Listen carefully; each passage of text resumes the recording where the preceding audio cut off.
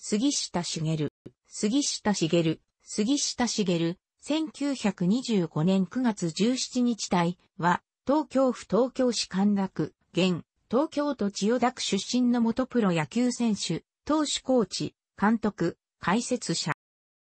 日本初の本格的フォークボーラーとされており、現役時代は驚異的な変化の切れ味と落差を誇るフォークボールを自在に操り姿勢を風靡した。杉下のフォークが日本球界に与えた影響の大きさからフォークボールの神様と呼ばれている。旧制帝京商業学校では野球部に所属し、監督だった天地俊一の下で4番、一塁手としてプレーした。長身を生かして投手として登板することもあったが、当時は弱型で守備時の送球は下手投げに近い横手投げだった。1944年3月に卒業後に入隊し、野球経験者という理由だけで、中隊対抗の手榴弾投げ競争の代表選手に選ばれた。そのために弱肩であることを言い出せず、投球フォームを植えて投げに強制して、必死に遠投を練習した結果、肩が強くなって優勝した。終戦後は、アマチュア野球のイスズ自動車へ入社し、当時監督だった刈田久則によって本格的に投手として起用される。公式戦、対日本コロンビア戦で登板したある日の試合で、偶然球審を務めていたアマチは、強肩速球投手に進化した杉下に驚愕し、さらにその試合で、杉下がノーヒットノーランを達成すると、すぐに、アマチの母校である、明治大学専門部へ進学する、要周囲からめられ、入学した。しかし、杉下の明治大学入学に関しては、アマチは一切関与していないという。当初は長身であることから一塁手として起用されたが、監督だった八曽川豊の命令によって、再度投手へ戻り、野球部で練習する傍ら、アマチの指摘指導も受けた。1948年の正月、岡山県立琴浦商業学校に投手として在学していた東谷夏樹にナックルボールを教えているのを見かけた、天地からフォークボールというものがあると教えられる。しかし、ある日の試合で初めて投げた一球目が当たり損ないの安打になったことから、杉下は縁起の悪さを嫌ってすぐに封印した。封印後も80川から上からも、中からも、下からも、吐くほどまで投球練習をさせられて、ついに肩を壊してしまった。杉下は結局、明治大学の学部には進学することなく、専門部からに中日ドラゴンズへ入団した。杉下のプロ入りに関しては、監督を務めていたアマチと寸大クラブ会長だった小西徳郎の世話がという。また、入団直前には、当時の人気コメディアンで亡くなったばかりの高瀬実情の二代目としてスカウトを受けたが、その理由が杉下の風貌が高瀬によく似ていたというだけだったと。初登板となった対東急フライヤーズ戦で封印していたフォークボールを用いて大下博士から3打席連続三振を奪った。この年は8勝を挙げ、からはまで6年連続20勝を含む9年連続2桁勝利を記録した。中でもには32勝、防御率1.39、273奪三振を記録して、中日ドラゴンズを初優勝に導くだけでなく、自身も最多勝ち、最優秀防御率、最多奪三振、最高勝率、最多完封を挙げ、日本プロ野球史上4人目にリーグ分立後初となる投手五冠王に輝いた。特に優勝を争った読売ジャイアンツからは、この年にチームが挙げた14勝、12敗のうち11勝5敗を杉下和人で稼いだ。また、巨人以外にも国鉄スワローズとの試合に敗れたら優勝を逃すことから国鉄のエース金田正一が登板する試合は必ず杉下が投げるように監督の天地主日から指示されていた。結局、杉下は金田と投げ合って全勝を収め、金田は対中日ドラゴンズ戦で1勝7敗と大きく負け越した。同年の日本シリーズ、対西鉄ライオンズ戦でも7試合中5試合に登板し、うち4試合に完投、自身も3勝1敗の好成績で日本一に大きく貢献し、中日ドラゴンズとしては、史上初の日本シリーズ MVP に輝いた。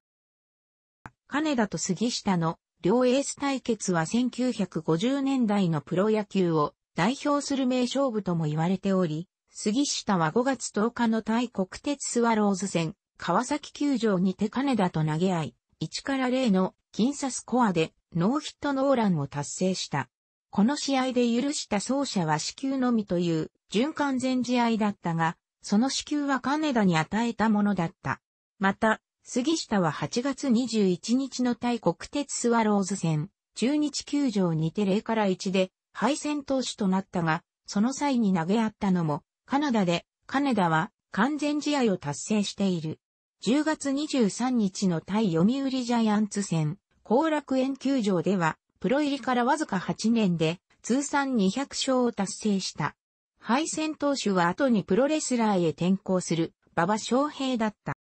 に一度、事実上引退を表明した。中日ドラゴンズ時代に挙げた211勝は、2、山本正に抜かれるまで、球団記録だった。からまで中日ドラゴンズの監督を務めたが、選手兼任だったものの監督業に専念したことから、公式戦の出場は一切なかった。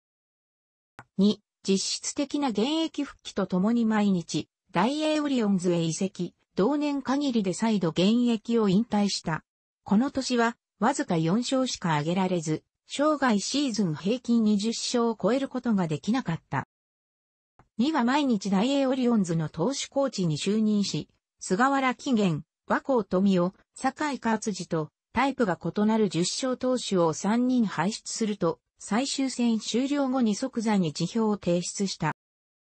からは、阪神タイガースの一軍投手兼ヘッドコーチに就任し、解雇寸前だったジーン・バッキーを春季キャンプ期間中に、体の使い方から投げ方まで徹底的に指導して29勝、防御率1.89の2冠を獲得させた。チームとしてもリーグ優勝に貢献し、シーズン終了後には後にシーズン最多奪三振記録を達成する江夏豊の獲得を進言した。2は一軍監督に就任するが、同年8月13日に辞任を表明。2、古巣、中日ドラゴンズの監督に復帰するが最下位に低迷し、8月に解任された。その後はから TBS テレビ、中部日本放送の野球解説者に就任した。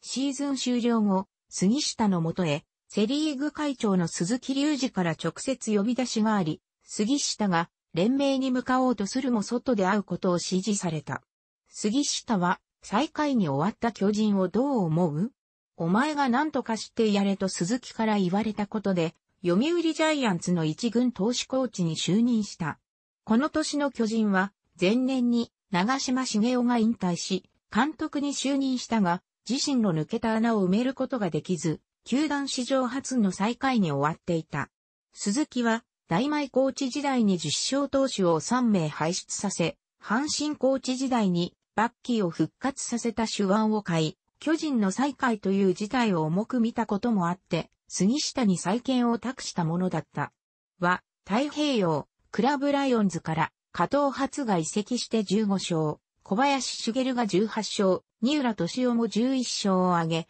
日本シリーズこそ、阪急ブレーブスに敗退したものの、リーグ優勝に貢献した。2、監督の長島が解任されたのに合わせ、コーチを退任した。2は、金田が中心となって、迷宮会が設立された。昭和生まれで、野手は通算2000本以上の安打、投手は通算200勝以上を日本プロ野球の公式戦で挙げた選手、元選手が入会条件とされた。杉下は中日で通算200勝を達成していたが、大正生まれのために入会の対象外となった。名球会が発足した当時の存命者では、別所武彦、野口二郎、藤本秀夫、通算200勝以上、川上哲司、通算2000本安打以上も同様の理由で対象外となり、落合博光は通算2000本安打以上を達成しているが、入会を辞退している。から再び TBS テレビの野球解説者を務め、からは2シーズンにわたり西武ライオンズの一軍、投手コーチを務めた。西部時代には、選手を、というより森をコーチとして一人前にするのが仕事。各、渡辺、工藤、塩崎、香取らが主力だからコーチなんかいらないよ。いろんな球団に行ったけど、一番楽だったと述べている。2、野球殿堂入りを果たし、現在は TBS テレビの野球解説者を担当している。プロ野球マスターズリーグ、名古屋パチジュー D セルスの監督をから2年間に渡って務めたほか、からは中日スポーツ市場に自伝風コラム、スタイルを掲載していた。以降は中日ドラゴンズの春季沖縄キャンプに毎年参加し、90歳を超えた現在でも臨時コーチとして投手の指導に当たっている。中日以外にも各チームのキャンプを巡回しては精力的に投手の指導を行い、特にフォークボールの指導は熱が入る。1956年から1960年まで東映フライヤーズの監督を務めた岩本義行が9月26日に死去したことに伴い、1950年代にプロ野球の監督を務めた人物では最後の存命者になった。明治大学在学中に天地俊一から教えられたフォークボールは試合で初めて投げた際に当たり損ないの安打になって以来縁起の悪さを感じたことから封印していた。しかしプロ入り後は封印していたフォークボールを駆使し、青バットと呼ばれた大下博士から三振を奪うなど、日本初のフォークボーラーとして名を打った。しかし、現在のフォークボーラーのような高い奪三振率は記録していない。その理由として、フォークボールが下手というものではなく、フォークボールを最後の切り札とする信念のもと、勝負所でのみ投じていたためである。そのため、1試合で投じるフォークボールは多くても5から6球と少ないものだった。杉下はフォークボールについて、神様用のボールと述べた上で、神様以外には見せ玉にしか使ってないが、それだけで、相手は、フォークボールがいつ来るかで迷ったという。また、神様を倒して、いつか日本一の投手になると思っていたと述べている。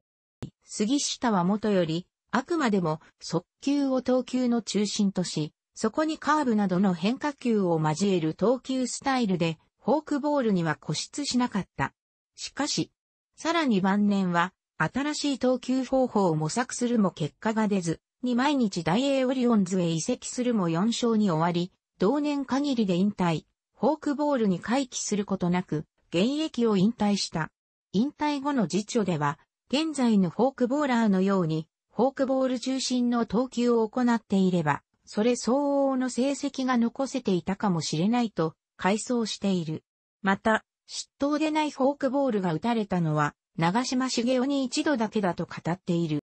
杉下が投じていたフォークボールは、現在の一般的なフォークボールとは異なり、球が全く回転することなく、左右に揺れながら落ちる、いわゆるナックルボールに近いものである。その球は、蝶のようにひらひらと舞うと呼ばれ、川上哲司が、ボールの縫い目が見えた、保守は取れないのに打てるわけがないというほどだった。これほどの変化が起きるのは、杉下の長い指があってこそであり、杉下は、人差し指と中指の第二関節の間をボールが触ることなく通過したとも言われている。しかし、杉下は、球が右へ行くのか、左へ行くのか、ボールの気の向くまま、精密なコントロールなどとは無縁なものでしたと10回しているほか、フォークボールを投じる気はとにかく腕を思い切り振り、保守の顔面をめがけて投げることだけに集中していたという。そして、調子の良い時のフォークボールは3段にわたって触れながら、落ち、打者の手元でさらに2段階にわたって落ちたという。そのために、周囲からは、魔球と呼ばれ、打球団でも多くの打者が研究したが、杉下はフォークボールを自身の財産だとして秘密を守り、オールスターゲームなどで他チームの保守とバッテリーを組んだ際には決して投げず、マスコミにも握り方を見せることを拒否した。現役時代に杉下と名勝負を繰り広げた金田昭一は自分が見た最高の投手は藤本さんでも別所さんでもない。正真正銘のフォークボールを投げた杉下さんと語っており、杉下もフォークボールのアリューを投げた者は大勢いるが、本物のフォークボールを投げた者は5人。私と村山実、村田長治、野茂秀夫、佐々木和弘だと言い、現在の投手がフォークボールと称して投げているのは、スプリットだとも語っている。